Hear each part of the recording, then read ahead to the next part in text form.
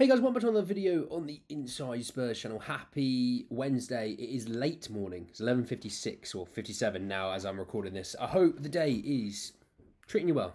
You're looking after yourself. Uh, if the day's not treating you well, don't worry. There's always tomorrow, all right? I promise you, it'll get better. Sun is out as well, so that's a little something something. And uh, I've, I've already been to the gym, so I'm a happy guy. Uh, in this video, though, we're talking Emerson Royal and, well, potentially the interest of him leaving Spurs as well as Ben Davies. So I want to talk about both of those in a bit of detail and kind of maybe not predict the future, but kind of kind of just put it out into the ethos, into the atmosphere, what might the summer look like when it comes to some of the purchases of players. So plenty to get into, plenty to talk about. Just want to say though, if you're new, give us a subscribe. Be very much welcome to join us for the journey. I hope, by the way, as well, to be uploading a little bit of career mode over the next few days. Apologies, it's been a bit delayed. Um, I've just been busy. Shoot me. But anyway, let's jump in. Let's talk. Uh, let's talk Emerson Royal. I think that's where I'm going to start first. So it came from Football Insider, who said that Spurs will tell Emerson Royal he is free to find a new club this summer and will accept an offer of around 20 million for the Brazilian international. Brazilian international do they have no other fullbacks? Take me. Take, I will play for Brazil. All right, we'll do an ancestry tree and we'll go through back generation after generation. generation. There must be some Brazilian in there somewhere. Um, look, if I'm honest, this is the right decision. I think. I think we can like Emerson. We think he's a good guy. He he works hard. He tries his best. He's just not up to the level. And that's fine. There's nothing wrong with that. There is absolutely nothing wrong with that. That guy could play in the top five league, not an issue. That guy could play in the Premier League if, you know, for a team that's a little bit further down.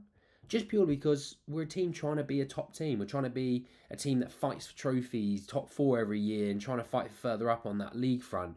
He's he would never be it if you know what I mean. You know, what you see is what you get with Emerson, and you know, yeah, good vibes, good character, good dressing room guy.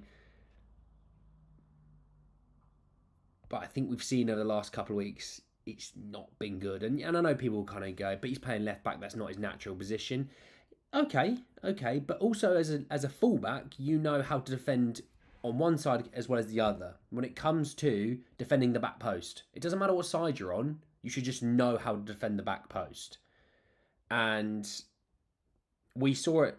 We just saw it that he's just not switched on enough defensively at the back post. And I think people kind of look at the time where we played four fullbacks at the back and, you know, oh, Emerson was decent, Emerson was this.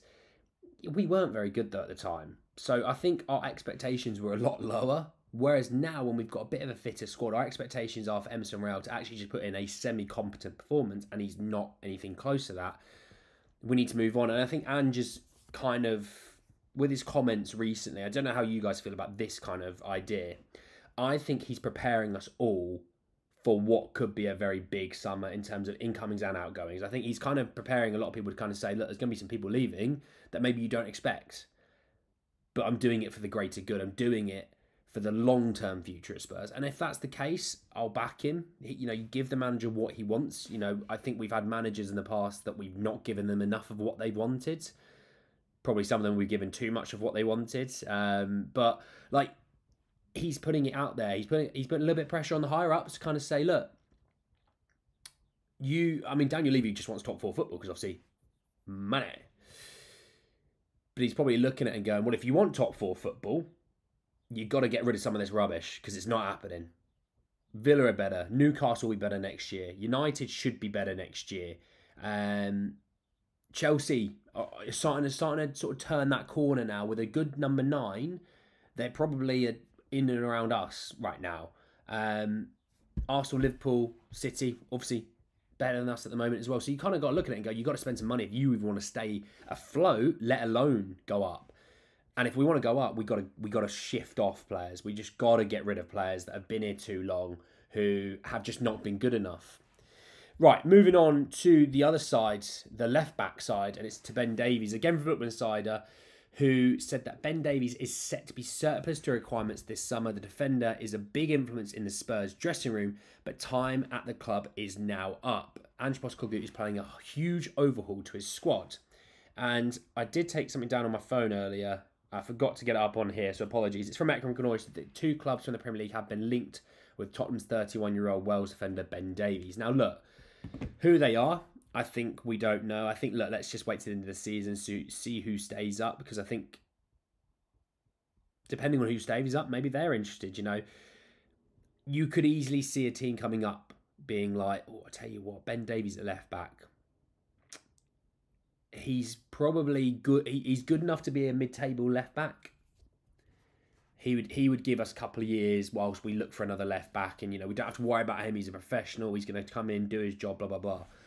I can see, I can absolutely see Ben Davies still being a Premier League player after this season. I just don't see it being for us. And and by the way, again, there's nothing wrong with saying that. Good character, good guy, true professional. But there's always a time and place to kind of say, it's time to move on now. We need to be better at that because there's certain clubs in and around us who are great at it, and look at them. Look at them for it. Look at look at Liverpool. Jordan Henderson, James Milner. Those are two guys who are you know massive part of of the the the time they had under Klopp. Moved them on. You know, so teams do it. Teams move on from guys, even though they are key figures within the squad in terms of you know dressing room and things like that. We need to be better at this as well. And I think with Ben, like we all like Ben. There's not. We have no issues with Ben. We have no issues with Emerson. But if we're going to get, let's say, 25 to 30 million for them, I'm kind of looking at it and going, uh, yeah, do it and replace them. Unless you've got like don't worry if there's a guy coming up through the system that you go that's a damn good fullback there. We we could use him next year. Fine i'm i'm, I'm on board with it. Give some youth an opportunity. But if not replace them. Yeah it's going to cost some money but for the long run if you can get a couple of guys that are going to cost 40 million 50 million for the long run you're going to have them for four five six years or whatever you know you can't look at it and go that's, that's smart business if it means this summer we spend a bit more because we're selling off so many, then fine. It makes sense to, you know, to move off of Ben Davies, Emerson Royal, Pierre Højbjerg, you know, maybe it's Lo Celso, Bryan Gil, Manor Solomon, the guys out who are out on loan who won't be playing for us. Move them on. And I've always had the mindset of, oh, you know, don't get get one of those free guys and it back. I'm now the mindset going, yeah, but if you can go Calafiori, I know a few of you are going to be happy I've even mentioned his name again. Because if you if you, if you think I have the pull, by the way, you have a pull. I have a pull that can sway Spurs into moving people. Look, if I had that, that would be impressive, but I don't. All right, I'm just a, just an ordinary guy. Um, but if Calafiori is the guy, you go and get a right back, you go and get a left back. I, I, still quite like the idea of maybe a Patrick Dorgu, maybe. I don't know. We'll see on that one. But if you kind of go, look, we're going to get three guys. They're going to cost 60 to 70 million fine.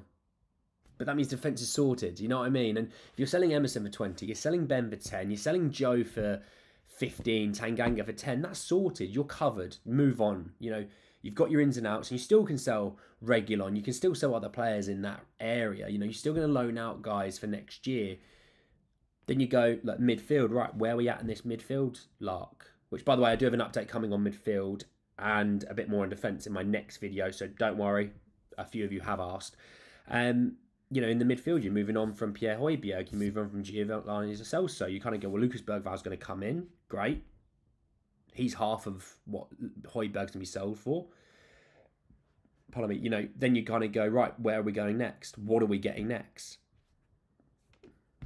And before you know it, you can probably get through the defence and the midfield without having to actually spend any net money. You'll spend money, but net money is what I mean. You spend gross, but net is obviously the actual spends. Then in the attack, you kind of go, look, we're going to have to go a bit bigger here. But if we spend, you know, big sums of money, it doesn't matter. We already make so much money anyway. Travis Scott's in here now as well. Can he play left back? But anyway, we'll see. Anyway, guys, then if you hope you enjoyed, drop a like on it. If you did, hit me in the comment section your thoughts and feelings about Emerson, about Ben Davies, my thoughts and feelings about what Ange's been saying, you know, the the idea of how I would go about rebuilding maybe the defence in the midfield. I want to know thoughts things about all of that. Obviously, if you are new, subscribe. You're very much welcome to join us, obviously. And uh, yeah, hit the bell notification for more. But anyway, guys, the end of the video. I'll see you all very, very soon. Take care, guys.